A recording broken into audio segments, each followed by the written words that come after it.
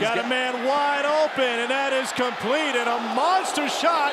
The ball's loose, and they say that Devin Street is down, and Devin Street might not get up. Kyshoen Jarrett laid a lick on Devin Street.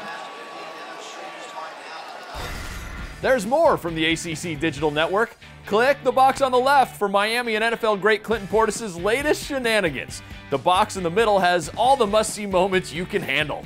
And click the box on the right for our collection of extended highlights, our games of the week. And click the blue subscribe button now.